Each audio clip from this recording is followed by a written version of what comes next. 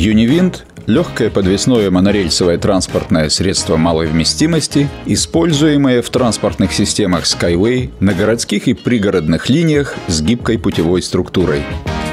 Данный тип путевой структуры отличается максимально простой и функциональной конструкцией, что делает ее одним из самых доступных решений для организации сообщения в малонаселенных или отдаленных районах, а также на местности со сложным рельефом.